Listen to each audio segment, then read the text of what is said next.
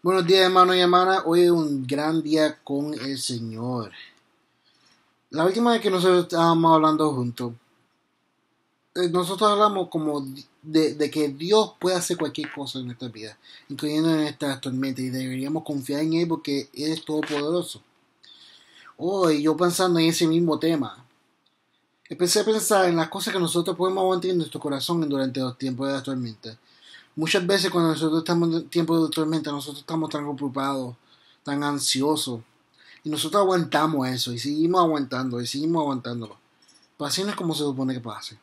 Nosotros supone que soltemos nuestra ansiedad, nuestra, nuestras cosas que están en nuestro, en, nuestro ser, que nos aguanta para abajo y que nos, nos da preocupaciones hacia Dios. Y me recuerda el versículo en Filipinos, en Filipenses 4, 6 al 7, que dice, no se aflija, no se aflijan por nada, sino preséntenselo todo a Dios en oración. Pídanle y denle gracias también. Así Dios le dará su paz, que es más grande de lo que el hombre puede entender, y esta paz cuidará sus corazones y sus pensamientos por medio de Cristo Jesús. Y el punto de este versículo es que cuando nosotros estamos en los peores tiempos de nuestra vida y nosotros sabemos que Dios es nuestro Dios y es Dios poderoso, nosotros deberíamos no solamente darle gracias, pero darle todo lo que nosotros somos ansiosos de, para que Él nos pueda dar su totalmente paz que supera cualquier entendimiento en nuestra vida. Eso no, no, es lo más fácil, porque lo más fácil, lo más natural para el hombre es quedarse ansioso en las situaciones. Es buscar cualquier solución y tratar de coger el control.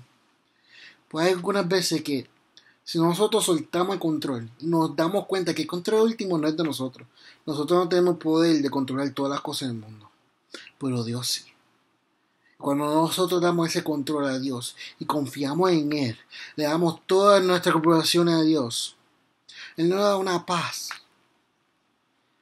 que es tan maravillosa que literalmente sana el corazón de uno que está demasiado preocupado, uno que tiene tanto temor en su vida. Y yo quiero orar con usted hoy para pedirle a Dios que nos ayude a tener esa, esa confianza con esa ese, ese, ese valor de darle a Dios toda nuestra ansiedad, toda nuestra preocupación y darle todo el control a Dios. Dejarle a Él que tiene todo poder y toda autoridad sobre este mundo, el control de toda nuestra vida, incluyendo las cosas que nosotros estamos preocupados de y las cosas que no estamos preocupados de. Amén. Dios grande, poderoso, Padre de todo el mundo el rey que tiene la autoridad de todo. Te damos gracias. Gracias porque tú eres un gran Dios, maravilloso en todos nombres, Señor. Y te pedimos hoy que tú nos ayudes, Señor. Nos ayudes a darte todo el control, Señor. Que tú puedas coger el control de toda nuestra vida.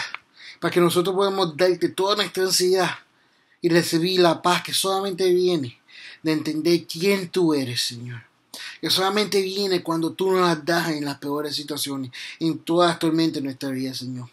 Te damos gracias porque nosotros sabemos que tú vas a hacer esto y mucho más en esta vida. En tu poderoso nombre oramos. Amén y amén. Bueno, hermanos y hermanas, yo lo veré probablemente hoy si vienen en culto de, de, Lo veremos el domingo si vienen. Si no, Dios les bendiga y estaremos orando por ustedes. Amén. Dios les bendiga.